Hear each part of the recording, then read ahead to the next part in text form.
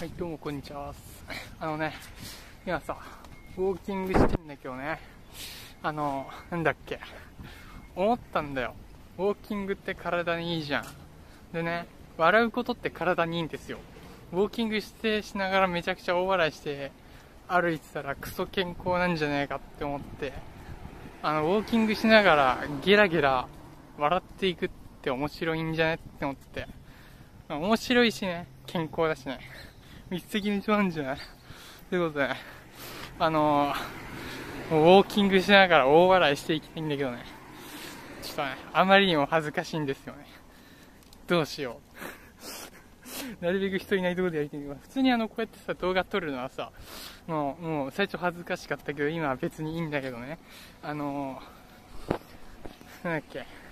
さすがにウォーキングしながらゲラゲラ笑うのはちょっとね、笑っちゃいたいと思います。ちょっと目標3分。3分間笑い続けようと思います。ちょっと気持ち悪いね。やめよう、ちょっと。はい、あの、笑った時間4秒でした。恥ずかしいのでやめと思うんだけど、ちょっとね、僕が今何をしているのかと言いますとね、ちょっと、あのー、どうしよう、どこに行こう。今ちょっとね、あの、東京オリンピックも終わってさ、あの、9月、あれ？待って、これ、時計の表示が違った。今日9月何日だっけ？ちょっと待って、時計を。9月11日なんだけど、えっ、ー、とね、何をしようかっていうと、ね、ちょっと待ってよ。マジで何しよう。渋谷でも行くか。特に理由はないけどね。渋谷でも行って、渋谷でも行こうかなって思ってんのよ。ここから渋谷って何キロだろう ?2 キロぐらいかな結構すぐだよね。まあ、僕みたいに、あの、もうね、2位と極めすぎると、あの、10キロ圏内徒歩とか言えるようになっちゃうんで、あの、こっから渋谷は徒歩。当然。当然のごとく徒歩なんだけど、半径10キロは徒歩。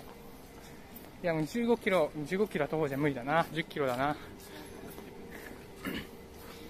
いや夏は10キロもきついけど、冬ならもうちょいいける。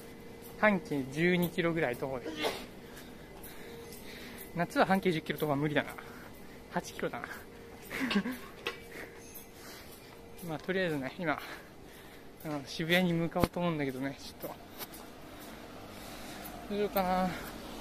そう、ゲラゲラ、ゲラゲラ笑いながらウォーキングしたいんだよ。さすがにちょっと恥ずかしいんだけど。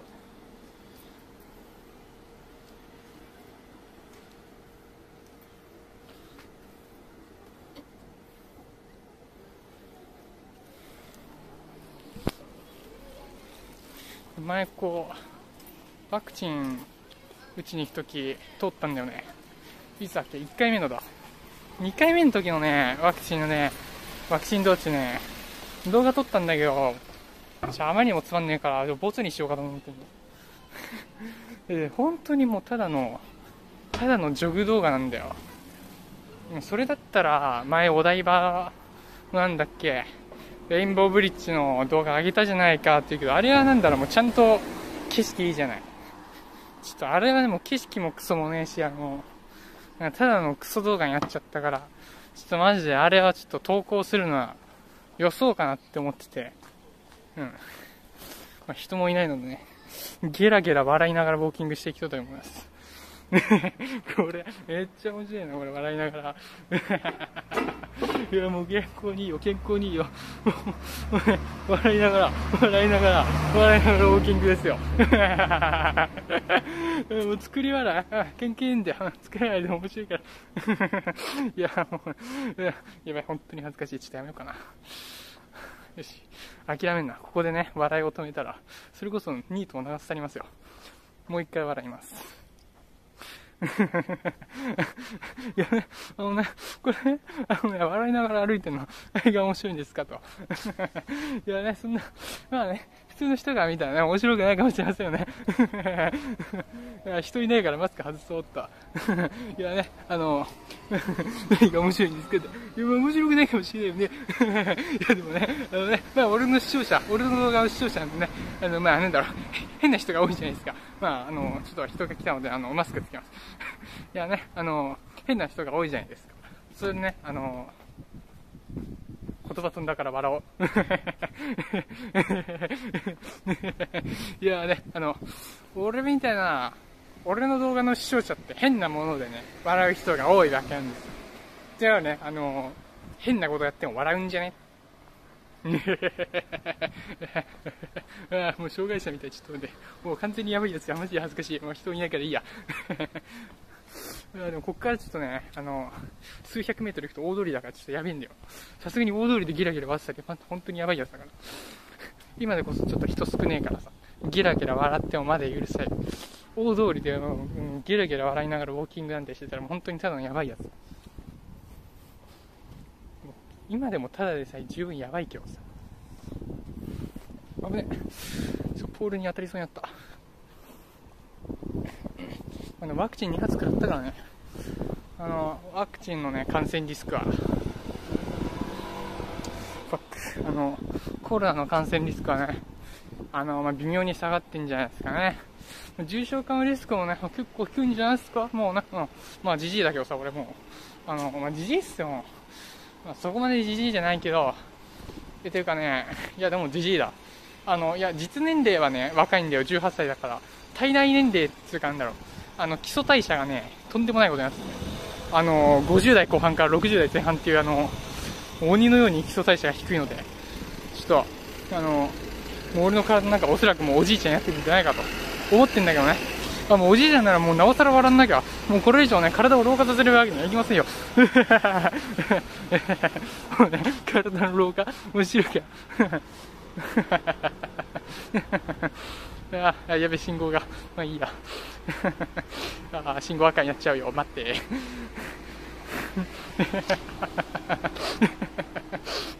やべえ、大通り出ちゃった。やばい、どうしよう。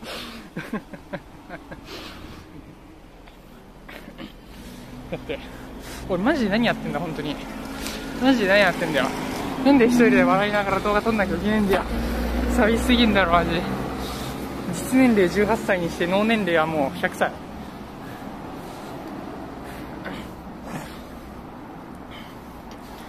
か、なんだっけ、18歳でニートってなかなかやばくないか？あ、上り坂だ。上り坂楽しいな。いやどうしよう、ちょっとそろそろ本当に笑うの控えよう。ちょっとマジで。マジで本当にやばいやつになる。でもすでにやばいけどね、ちょっと。てか待って。道合ってんのか、これ。あ、合ってなきゃ合ってなきゃって。その都度なんとか修正するけど。いや、めっちゃゲップ出た。あ、でも、渋谷そこやな。あれあれあれ。見えるか。ほら、ほら、見とけよ。ぼやっぼややないか。全然ピンと合わない。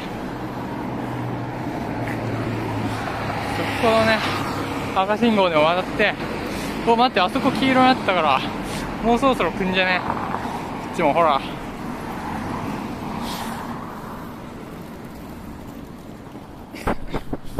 いや、でもね、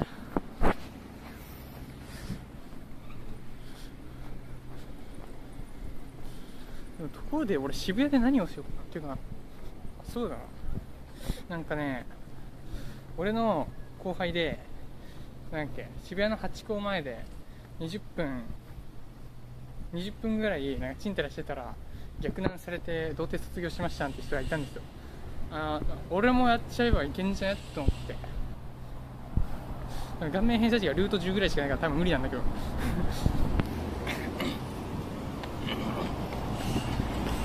ちょっとタバコってる人いたからちょっとダッシュに逃げた。一瞬ね。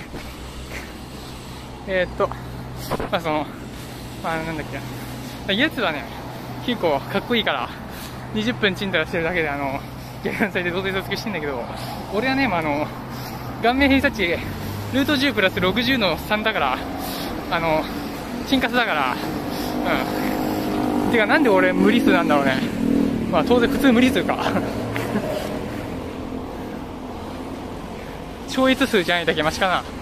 えでも待ってログってログって超越数なの？多分ただの多分ただの代数適数だと思うんだけど。まあいやわかんない。わかんないけど、まあいあのまあ、僕の顔面偏差値その程度なんですえー、で、まあ、そんなんじゃない。もう20分どころか200分待っても来ないんじゃないかっていう。まあさすがに200分もいるつもりないけど。いやあのもうここではもう実験実験。あのされるの？されないのっていう。いやあの撮影しよっかな。ただボケーっと伝ってるだけでしょ。撮っても何も面白くない。でもたてか多分多分されないと思うけどされたら面白いけどどんだけ物好きなんだっていう感じはあるけど。あやべえ。ちょっと待って。やばくね？60分とかちんたら待つのにめちゃくちゃ暇じゃねえか。スーさんの教科書の持ってくれよかった。最悪だ。高校の時使ってたスーさんの教科書の持ってくれよかった。なんか俺さ高2か。高2の時さ修学旅行で沖縄行ってその時あのなんだっけあの絶対バスとか飛行機の中で絶対暇だろうと思って。それで俺あのスーさんの教科書持ってってあのバスの中で スーさんの教科書読むってるってあの。めちゃくちゃ変態なことしてたんだけど。懐かしいな。高2に戻りてえな。沖縄のね修学旅行の時はね何読んでたっけあの。なんか複素数平面とか読んでた記憶ある。複素数平面のとこ読んでてで俺そのおかげでさあの高3の時のさ複素数平面の授業で結構さあのなんだっけあのいけたんだよ。あの結局ニートになっちゃったから何にも意味ないんだけど。いやー待って今動画の時間何分だ？11分55秒。ちょっと待って結構尺が長い。どうしよう。どっかカットしないとマジで。いやでも、まあ、長くてもいいか別に面白きゃいいんだよ、まあ、面白くねえけど多分。あのー、本当にごく一部の人はね面白いと思ってくれてる人がいるかもしれないから。あのー、ちょっと渋谷でねあのー、実験してやろうと思います。エクスペリメント。そうだよ。あの理論理論だけじゃ意味がない。実験もかあの実験もしないとねいけないから。そのあのかつてねあの理論と実験とであの重大なのだっけ。あやばいことがあったんだけど。あの昔さあの熱い方が電気抵抗ちっちゃいんじゃねっていう理論があったのよ、なぜかっていうと原子とかって熱い方がうっせ原子とかって熱い方が動くじゃん。電子も熱い方が動くんじゃねってあって。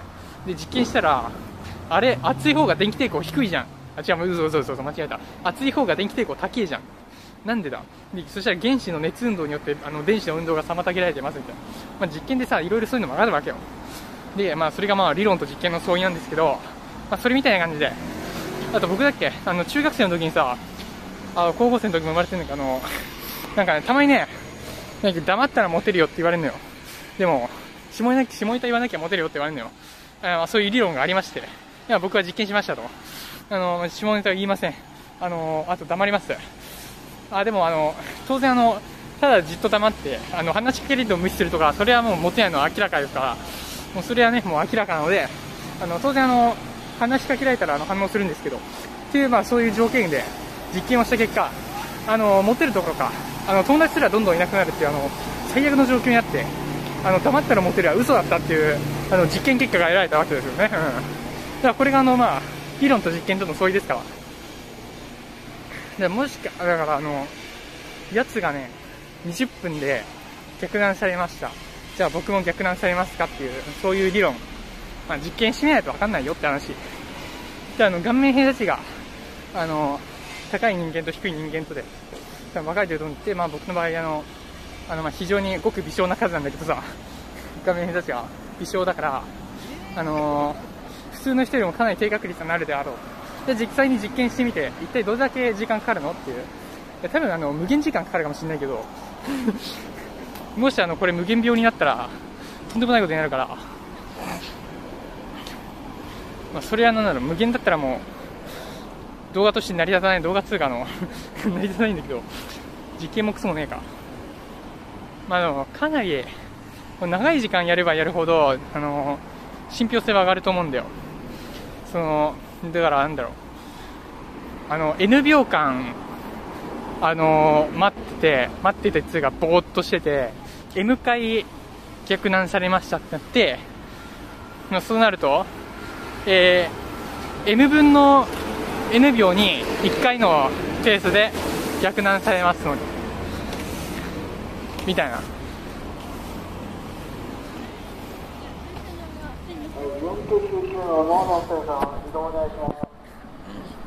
まあいいやとりあえずあの行こうかなって思うんだけどまあ友達も言ってたし。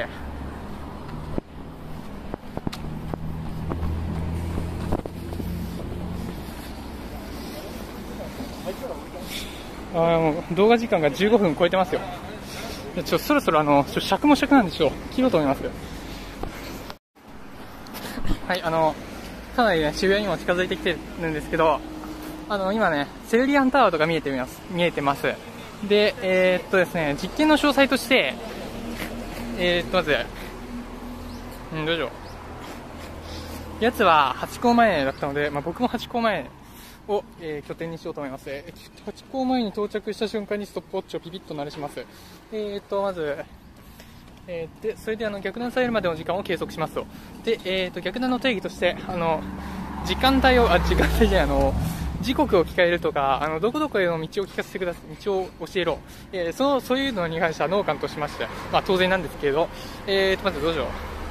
えーとね、連絡先を交換してくれとか、あと、どうしよう、えー、えーなんだろう、まあ、何分ぐらい付き合ってくれとか、あの、そういう感じの、あのー、だっけ、そういうのを、えー定義します。あの、逆なんと定義しまして、で、あの、それが発生するまでの時間というものを、えー計測いたしますと。で、まあ、ちょっと恐れてることがあって、あの、無限になってしまう可能性があるって。ちょ無限になってしまうと、それはもう、あのね、あの、家に帰れないというあの地獄のようなことになってしまって、さすがにそれは嫌だと。もう早く家に帰りたいので、ちょっとまあ、飽きたらやめます。多分あの、俺気が短いから10分も経たないうちに飽きる気がするんだけど、どうなんだろうな。時間潰し用の、あとなんだろう、指でこの指数数えて1024数えるとかでも、かなりいい暇つぶしなんだけど、なんかね、いい時間潰しないかな。頭の中で微分の計算するとか、ちょっと変態だな、それ。まあ、とりあえずあの、そういう類のことやって、適当に時間潰すけど、気が短いからな。10分でも結構きついんだよな、正直。うん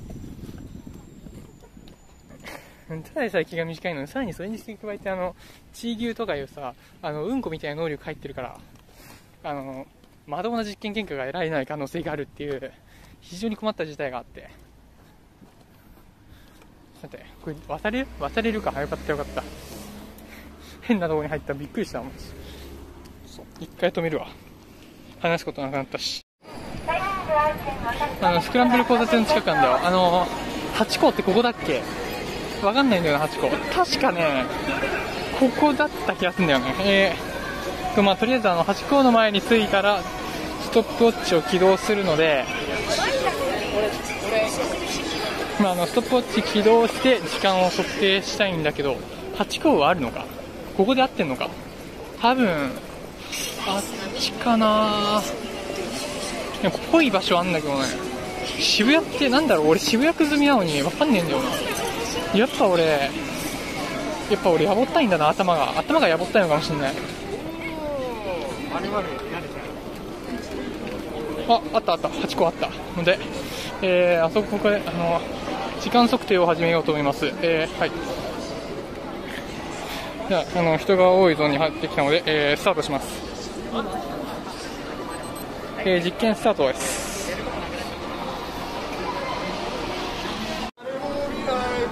面白いのに誰も見ないおい俺俺俺やばいから本当に見とけ俺やばいっすよ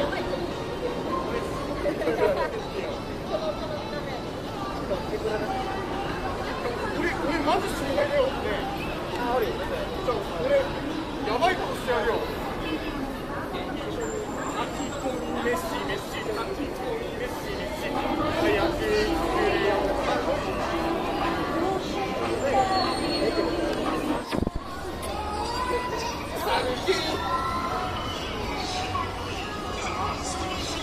どうも、サメキそばチャンネル皆さんこんにちは。群馬県から来ました YouTuber です本当にやばいやつだよ本当に俺本当に一番やばいやつだと思うよくそんな多分俺俺が日本で一番ね障害だし頭おかしいし、ね、誰か見てって俺のこと俺本当に俺頭おかしいから見てってさ頭のおかしいことしてやるよ。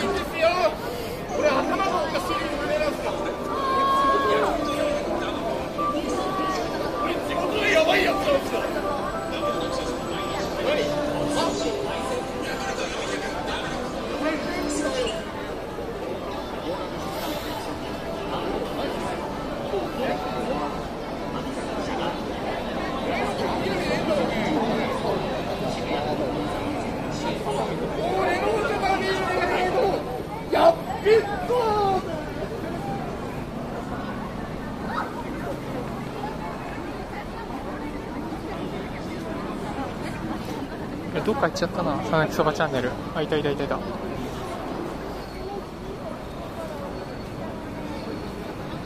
あそこで飛び跳ねてた。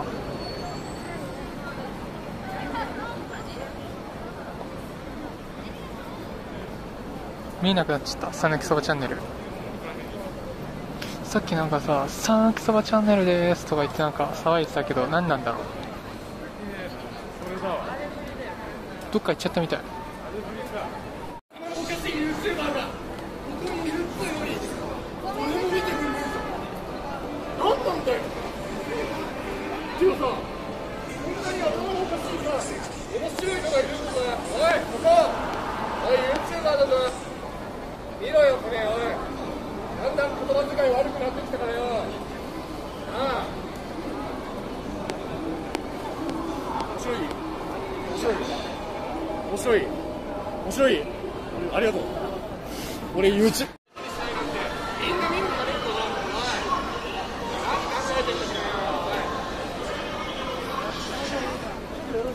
俺面白くねえんかい。本当に。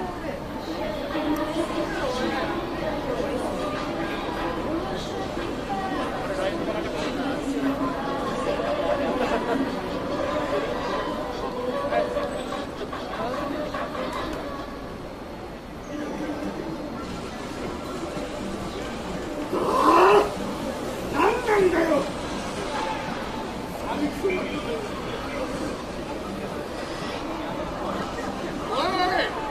こんなにさやばいやつ見るのもう最後に釣れるぞ